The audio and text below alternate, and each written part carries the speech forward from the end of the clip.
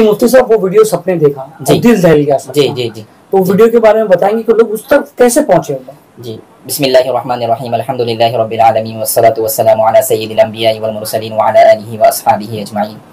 अम्मा बाद देखिए मोहतरम सबसे पहली बात ये थी कि जब मौलाना सलमान साहब से हम बजाते खुद मुलाकात की हमने तो उन्होंने ऐसा कहा कि जब हमारे बच्चे और हमारे सारे साहब जब पानी की तरफ़ बढ़ रहे थे तो पानी का बहाव बिल्कुल भी नहीं था। जरा भी पानी का बहाव नहीं था। मतलब कोई भी बच्चा चार साल का या सात साल का पानी को खेलने के लिए, पानी के अंदर इंजॉय करने के लिए जाते हैं।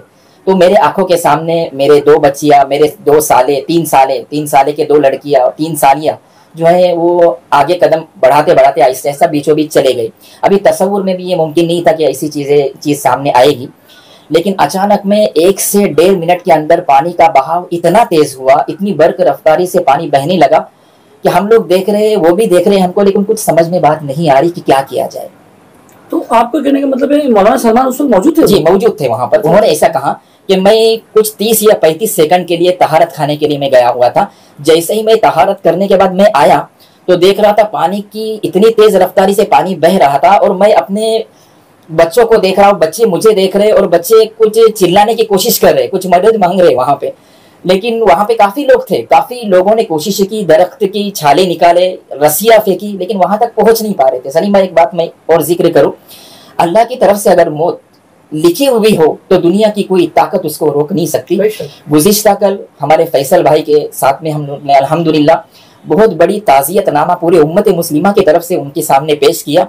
दिल दहलाने वाला वो मंजर था। मौलाना सलमान साहब के सामने बहुत सारी बातें आई। उन्होंने एक बात कहा कि मुफ्ती साहब, मैंने एक मंजर ऐसा देखा कि मैं और मेरी मोहतरमा किनारे पर बैठकर मेरा पूरा खानदान, मेरे बच्चे सर की आँखों से हम देख रहे हैं कि डूब रहे हैं। हम इतने बेबस थे कि हम उनको बचा नहीं सके। और मेरे जहन में ये बात आई कि मैं वैसे ही घूमा और कोशिश किया, मैं पानी में जा रहा था। लोगों ने मुझे पकड़े कि मौलाना मत जाइए। मैंने कहा कि मैं, मेरा कुछ भी हो जाए, मैं अपने बच्चों को बचाऊँगा। लेकिन मैं आगे जाने के बाद लोगों ने मुझे पकड़े और मैं अपने बच्चों को बचा नहीं सका। तकदीर का लिखा हुआ गालिब आया। इसमें एक मैसेज उम्मत को ये मिलता है कि अपने बच्चों का हम घूमने जाते हैं। इस्लाम सैर सियाहत से मना नहीं करता। सैर सियाहत करनी चाहिए, लेकिन पानी को एहतियात बरतना चाहिए। पानी अगर ज़्यादा है तो अपने बच्चों का एहतियात करना ये जिम्मेदारों का काम है। जो सरपरस्त हजरात है, उनके लिए एक मैसेज है कि अपने बच्चों को घुमाने के लिए लेकर जाए, लेकिन पानी से एहतियात बरते। जो मुकद्दर में लिखा हुआ है वो तो होना तय है। अल्लाह के मुकद्दर में वो चीज़ लिखी हुई थी कि उनके दोनों बच्चियाँ अल्लाह के पास चले जाएँगे साले चले जाएँगे टोटल पाँच लोगों की अमवात आई। मैं आपको जानकारी के लिए बात बता दूँ ये वाकया बारह बजे पेश आया।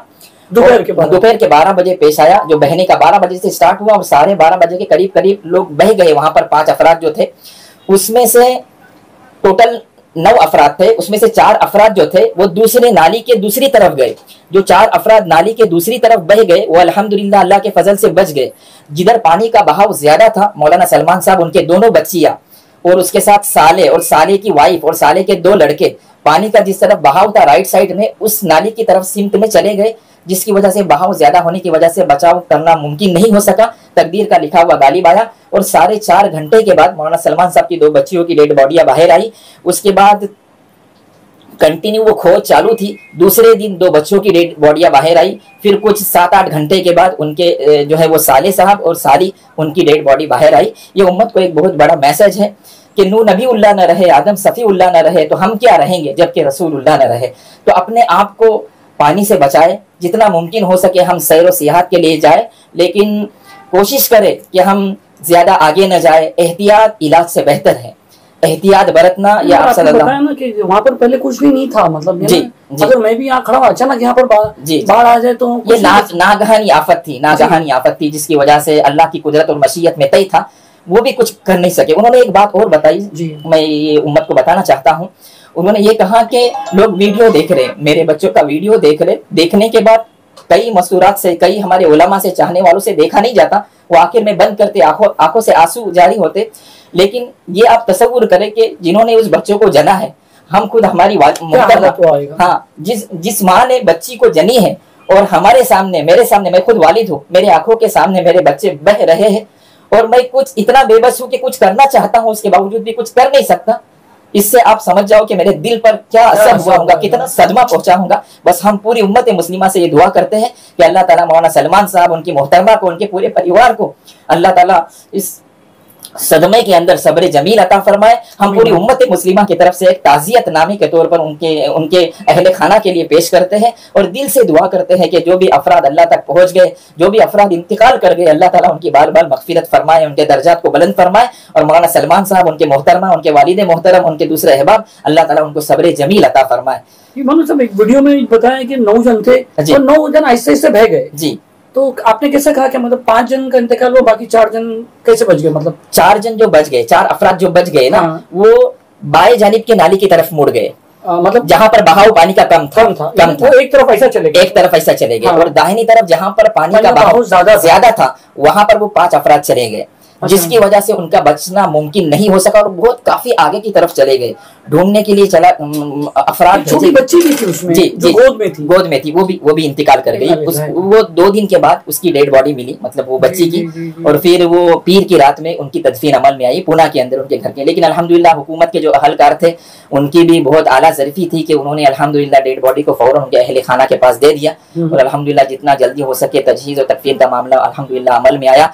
और हज़ारों की तादाद में, पूना के अंदर उनके चाहने वाले, उनकी मोहब्बत रखने वाले, उनसे मिलने वाले, उनसे जुलने वाले, उनसे ताल्लुक रखने वाले अलहमदिल्ला नम आँखों के साथ सुपुर्द खाक किया गया। मौलाना सलमान साहब को जो है वो सब्र जमील की तरगीब दी गई। हम सब दुआ गो है और अलहमदिल्ला हमारे मस्जिद आया- नवाब अयाज मस्जिद के मुफीज भाई भी ट्रस्टी यहाँ पर मौजूद है। उन्होंने कहा कि अलहमदिल्ला बहुत इतमान हुआ। उनके भाई फैसल भाई भी मौजूद है।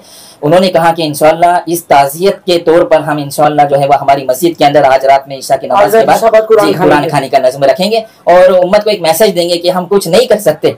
देखो मुर्दों को कंधा देने वाले हज़ारों लाखों लोग रहते हैं लेकिन जिंदों का सहारा बनने वाले बहुत कम लोग रहते हैं। आज दुनिया में ना अकलमंदों की ज़रूरत नहीं है दर्दमंदों की ज़रूरत है। हमारे वालिद मोहतरम अल्लाह गरी के रहमत फरमाए हमेशा कहा करते थे? अगर जीना चाहते हो तो दूसरों के लिए जियो अपने लिए तो जानवर भी जीते हैं। अपने लिए तो जानवर भी घर बनाते हैं। एक जज्बा रखो दर्द दिल के वास्ते पैदा किया इंसान को वरना ताकत के लिए कुछ कम न थे कर रूबिया एक जज्बा रखो दूसरों के लिए। तो इस सिलसिले में एक जज्बे को सामने रखते हुए मुफीज भाई ने अल्हम्दुलिल्लाह कुरान खानी अपनी मस्जिद में नज्म किया है। तो तमाम गुजारिश है लोगों से कि उसमें शरीक होकर जो है वो उनके हक में दुआएँ करे और इसारे सवाब के तौर पर कुरान करीम मौलाना सलमान साहब एक तो वो छह मिनट का जी। अपनी आँखों से अपने बच्चों को बहते हुए देखे। जी। और कल तफ्दीन के टाइम पे पाँच मैयत एक साथ। जी जी। कैसा मंजर होगा उन्होंने ऐसा ऐसा ही कहा कि कुछ देर के लिए मैं जहनी तवाजुन खो बैठा था। और ये महसूस कर रहा था कि मेरे बच्चियाँ मेरे आँखों के सामने हैं। इंतकाल नहीं कर गई। मैं यही मेरे दिल में ख्याल आ रहा था। फिर कुछ देर के बाद ख्याल आया कि अल्लाह ने अपने चाहने वालों से इम्तिहान बहुत लिया। नबियों से हज़रत इब्राहिम अलैहिस्सलाम से हज़रत इस्माईल अलैहिस्सलाम से आप खुद देखेंगे कि मुहर्रमुल हराम का महीना कुर्बानी से शुरू हो रहा है। जिलहिज्जा का महीना भी कुर्बानी पर ख़त्म हो रहा है। तो इससे एक मैसेज ये भी मिलता है कि दुनिया के अंदर जो भी अल्लाह से ताल्लुक़ रखने वाले बंदे हैं अल्लाह ने उन पर हालात डाला। हालात डालने के बाद आजमाइश की। आजमाइश में उन्होंने साबित कदमी इख्तियार की। अल्लाह ने उनके दर्जात को बुलंद किया। तो इस सिलसिले में वो भी अभी काफ़ी सदमे में है। वो किसी से पाँच से सात मिनट तक गुफ्तगू नहीं करते थे लेकिन गुजिश्ता कल मेरा जब जाना हुआ तो एक घंटे तक उन्होंने मुकम्मल तासुरात पेश किए और ये कहा कि बस पूरी उम्मत मुस्लिमा को चाहने वालों को ये कहो कि मेरे हक में और मेरे मोहतरमा के हक में दुआ करें और ये भी कहा कि मुझे समेटने के लिए और मुझे संभालने के लिए मुझे कंट्रोल करने के लिए मेरी मोहतरमा का सबसे ऊँचा किरदार है। उनकी जो मोहतरमा है उनका बहुत ऊँचा किरदार है उन तकवे पर भी क्या गुजरी उन पर भी क्या गुजरी होंगी हम तस्वर नहीं कर सकते। बिल्कुल। लेकिन उन्होंने कहा कि वो भी साबित कदम है और मुझे वो समेट रहे और